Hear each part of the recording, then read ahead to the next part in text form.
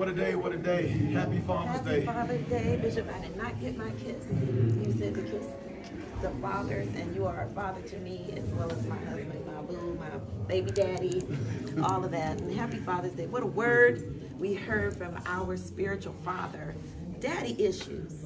So many of us have so many issues from our fathers that carry on into our lives. That's good. But I thank God that I didn't have. Uh, my parents weren't married, but I didn't have daddy issues because he was there for me. Yeah, yeah, he Thank was. you for that word. He's a, he was a great man too. He would say, "Come on over here, Chloe." He He's would say, "Oh, "He's a prismatic, prismatic, prismatic." but he meant But you know charismatic. Let me tell you something. Prismatic is in the dictionary. Oh, Yes.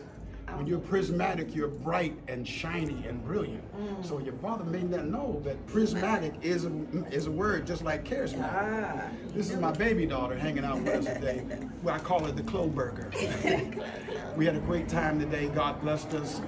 Uh, he met needs of people. There were tears in the sanctuary because of what God is speaking to us. We're on our way to Rochester on this glorious Father's Day. And I'm telling you, the greatest title I, I can ever have. Even though I am the husband to my wife, there are times that, that I, she doesn't call me her husband. I'm her baby or Chocolate Thunder or Hercules, you know. But to my daughters, I'm always daddy.